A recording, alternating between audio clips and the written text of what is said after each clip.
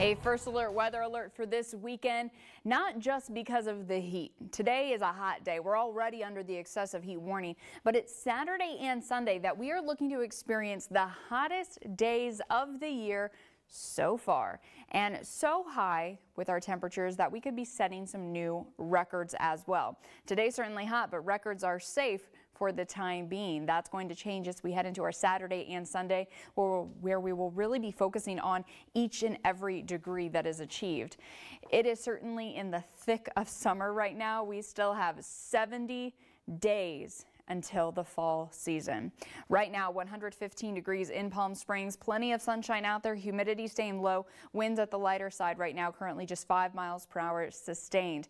It is a hot day. It is going to be a hot night for us all across the Coachella Valley. The excessive heat warning isn't in place just because of these hot afternoons, but because of the lack of relief during the overnight hours.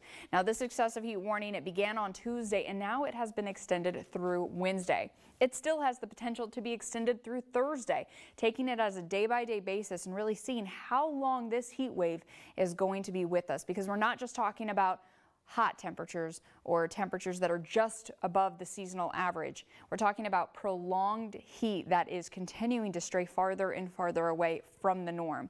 Now, specifically for the Coachella Valley, temperatures will be peaking this weekend, looking to have highs warming up into the 120s. Yeah, we haven't felt the 120s yet this year.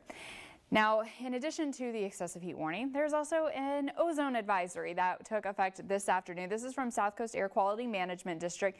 Uh, because of these high temperatures, it can increase the rate at which ozone forms. Ozone also smog. We're talking about just extra particulates in the air and high temperatures can certainly exacerbate their formation rates.